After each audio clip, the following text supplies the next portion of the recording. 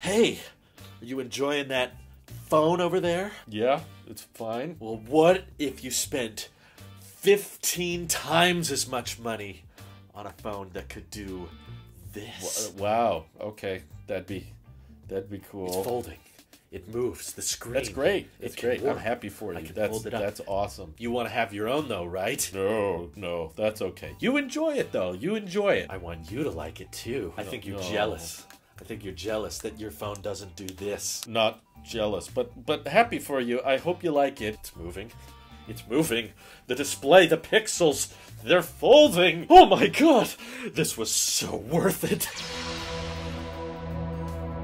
So I've been backing off from covering the leaks as of lately, but Google leaked this one, so I thought it was okay. The Pixel Fold, name and unveil date officially confirmed, showcasing Google's sixth attempt at a tablet, but first attempt at a folding one. And I gotta admit, as much as I've ridiculed Android phones and foldables throughout the years, this one looks pretty freaking good. I mean, for one, the camera bump is quite thin, and in my opinion, it's the best possible version of the camera bump because it's the visor design, so that eliminates the camera wobble. And in my view, the Oppo Find N was kind of the right approach to how to do a foldable right. Make it be more of an emphasis on being a portable, smaller phone that unfolds into a mini tablet. Hopefully that means you can also keep the price down, but where I struggled with foldables in the past all came down to the software optimization, and a lot of the time that came down to the aspect ratio. And that's where I felt like even Android tablets I've reviewed in the past were never able to quite optimize and scale that well, just because feels like Android has to optimize for so many different screens. But this is Google we're talking about here. They actually run and own Android, so I feel like if there's anybody that can get the screen optimization down, it's probably them, rather than trying to compete with One UI on top of Android like we've seen with Galaxy Folds. And sure, the interior bezels are a little bit thick. In fact, it's actually kind of looking like the forehead is a bit thicker than the chin. No, no, Google, we don't do that here. But who am I to complain? I'm trying to get by with a phone with big bezels like this. But hey, these things you can find for like a hundred bucks, whereas the Pixel Fold, considering how Google tends to try to undercut a lot of the iPhone flagships, my guess is this is going to be somewhere in the 1,600 to $1,700 price range. So certainly on the high end, and I don't think this is going to change anyone's perspective when it comes to foldables are a good deal because it's like buying a phone and a tablet put together, except it's a phone experience that's worth $500 and a tablet experience that's worth $400. So combine the two, you get a $1,700 compromise. But I acknowledge that there are those people out there that like having a two-in-one and like having a hybrid device, and Google in the past few years seems to have kind of found their stride, at least with their more affordable phones. A lot of people seem to be appreciating the A series, and I even heard a lot of people say that the Pixel 7 Pro was the best Android phone of 2022. Some of you may disagree with that, but to me it seems like they're finally starting to find their voice in how to make software optimization good, and maybe that's helpful that they have their own custom silicon, so I assume the G2 chip can go along with that in the Pixel Fold. And of course, Pixels from the beginning has always had the strong suit in regards to camera performance, so great camera, and I'm sure these days, considering the folds are so expensive, you've got to have 120 hertz on both the outside display and the inside display. And with the proper implementation of Material You, I think this could be one of the cleanest, most elegant, and well executed foldables of all time. So, if there's any hope at convincing Apple to one day make their own foldable, I think it's getting everyone else in the industry on board and proving that there's demand for phones like this because obviously Apple's probably better at anybody than getting us to spend more than a thousand dollars on a phone because iPhones dominate the premium smartphone space, which is why even though we talk about Galaxy Z folds and flips and things, they don't really sell as well as Samsung or Google's mid-range phones. That's where Android I think really tends to shine, not so much in the higher end pricey spaces. So if Samsung and Google and everybody else can convince